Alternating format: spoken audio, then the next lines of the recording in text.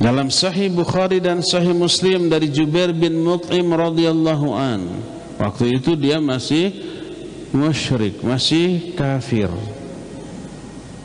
tapi dia mendengar Rasul sallallahu alaihi wasallam dalam salat maghrib membaca surah Tur.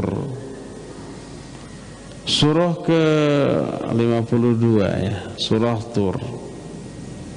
Ketika sampai kepada ayat 35 sampai 37 Allah menyatakan Am khuliqu min ghairi syai'in am humul khaliqun?